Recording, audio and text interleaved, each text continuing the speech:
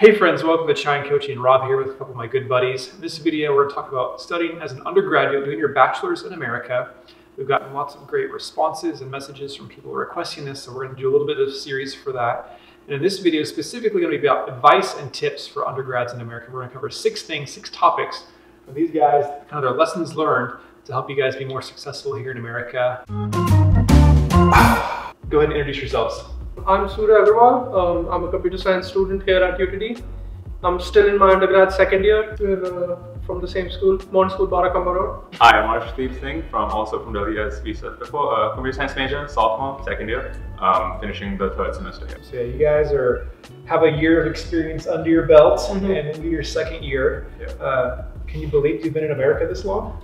Nah, I'm uh, still in disbelief. Yeah, I'm like, I don't even notice it anymore that I'm getting up and oh, it's a new country. Yeah, Yeah. yeah. But it's been cool watching you guys in your journey adjust Yeah. and uh, learn and be successful here. Yeah. And so Hopefully. you guys are going to have some great experience. You've been here a while, but you're still pretty fresh. Mhm. So Right. you're going to have some really great perspective. Let's go ahead and jump into this very first tip. Um, this first topic, you guys wanted to talk about AP and IB. Why is that important? Well, basically because AP exams are the colleges in America work on a credit system. Usually the courses that we learn through our high school, they come in handy uh, in finishing off the courses here and for that we can gain extra credit back in India.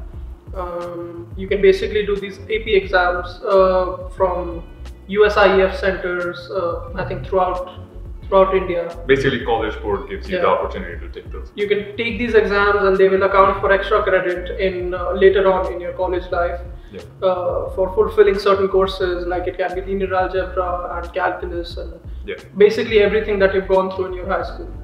You can basically skip courses and go ahead. Like you can skip Calc 1 and take Calc 2 in your first semester, which is obviously beneficial because you don't need to repeat all the stuff that you did in class 11 and 12. Yeah. Yeah. So AP or IB courses and credit help you save money, Yeah. get ahead, uh, graduate on time, Mhm. graduate early. Um, and so yeah, I even did that in my own undergrad. and It was very helpful and knock out a few of those core basic classes. So take advantage of the AP and IB credits. Absolutely. So that's number one. Number two, you guys mentioned that it's important to research the course catalog. What does that mean, and why do people need to know that? So every university has a course catalog that basically lists all the classes that you need to take in your un- undergrad or graduate career. So um, uh, and it shows you what was in in US. Uh, you need to take a few classes before taking the next class. It's called prereqs and coreqs. So like Calc 1, as I said, Calc 1 needs to be taken before Calc 2. So um, the idea is that you should know what the course catalog is, what courses you have to take, not just not the courses that you have to take in the first semester. You should know what you're going to take in the third semester. Obviously, it's not rigid. You can change around. A lot of people do that, but you should have a basic idea of what you're going to do so that you can plan out your journey uh, through the four years. Possibly add another major, minor, and some universities also have programs where you can do a master's in four years. So definitely know what you're doing as far as courses are concerned. And the younger student you are, the harder it is to get the classes you want. Yeah, You're at the bottom of the list in terms of priority for registering. yeah, that's true. So the older you are, you know, second, third, fourth year, Mhm. then you get priority registering. Yeah. Yeah, So it's good to have that plan ahead of knowing Yeah. the direction and the order you have to do your classes in. yeah. Um, if you just show up, you might not get those classes, and that can mess you up or even Absolutely. keep you from graduating on time. Yep. Yeah, for sure. So do that research. Arshdeep learned the hard way, right? Yeah. I spent so much time in my first semester trying to figure out what to do, what to do, but thankfully now I know. And, Yeah. But yeah, you can save a lot of time and effort if you do that beforehand. That's good. And talk to advisors, they're helpful. Yeah, use the college advisors. They're there to help you. Yeah. All right, number three. Um, you guys talked about how it's important to actually know a little bit about the topic or the course or the field of study beforehand. Talk about that. I mean, uh, coming to America, I already knew that I was interested in computer science, and I had kind of an idea of where I want to go after I graduate. But it's often that students who come from India either come, uh, you know, undecided or they're not clear on what choice they want. You usually want to uh, at least concentrate or have an idea about what you want to later on do in life, Yeah. so that you can decide what track or major you want to take here. Right. It's Having said that, the US also allows you to change your major. You can. It's not as rigid as the Indian system. Um, you can change around your majors. You can take different courses even if you're not majoring in that. Mhm. Yes, I came as a physics major. I changed into computer science when I came here, and honestly, I'm really thankful that I got the opportunity to do that because if it wouldn't have been for the US system, I would have been stuck with physics. Not that I don't like physics, just would not have been as happy. Yeah, the flexibility is Yeah, very important. definitely, absolutely. Um, but being prepared and knowing a little bit about what you're doing is also helpful. Yeah, like I wish I had known that I was going to do CS beforehand, so I could have you know done courses. Probably been a little bit ahead of the curve, but well, I'm here now. Yeah. So if you know what you're going to study, spend those couple of months in the summer before coming. Take some courses online, read some books, do some research, Mm-hmm. get a little bit ahead, and that's going to help you because the American students are going to kind of have that already, especially for college. Yeah. All right. The fourth thing, um, which is everyone's favorite, documents and immigration. what is some advice and tips people need to know about that? Please do them on time.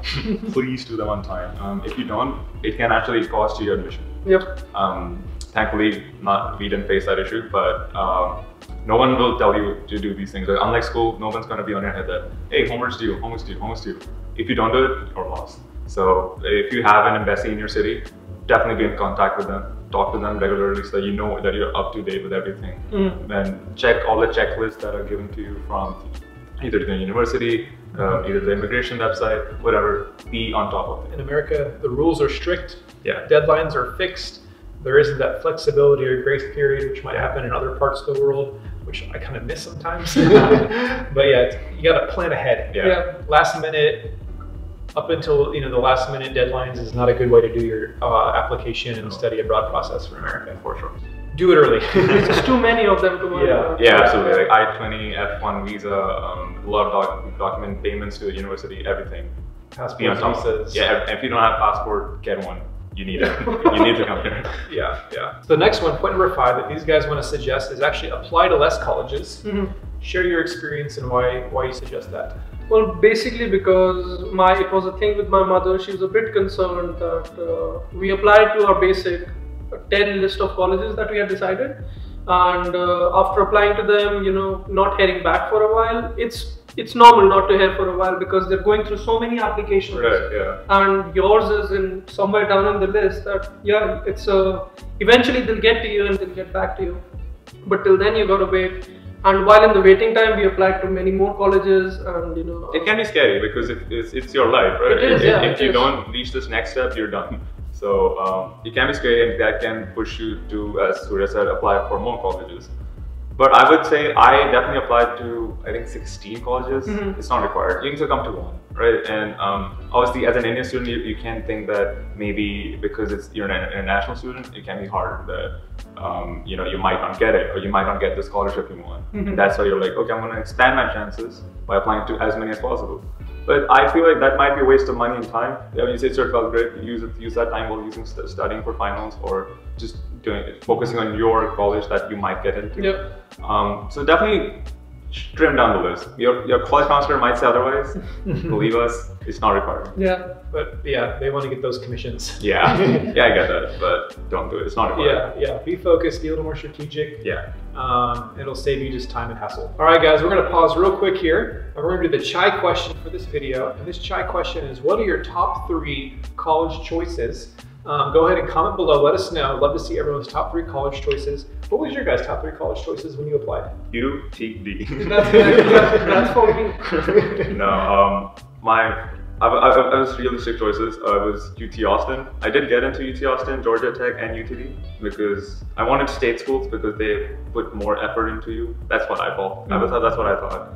And but yeah, I did get into all of them, but um, money was the type thing, so that's why I'm here at UTD. But I'm, yeah, I'm in my top one of the top three universities that I want. So. The top three for me was probably uh, University of Arizona. Mhm. Then there was uh, Texas A&M and finally UTD. Yeah, have to get into one of my top three choices. So Yeah, well, yeah, comment below with your top three. We're going to continue with the rest of the tips. The last one, number six, focusing on scholarships. Uh, why is that important? As an Indian student uh, from middle, middle class family, I my family could not have afforded paying out of state tuition in America because it's a lot. 40,000, 50,000 per semester, that's roughly 30 that's 40. almost a crore per four years that you spend here.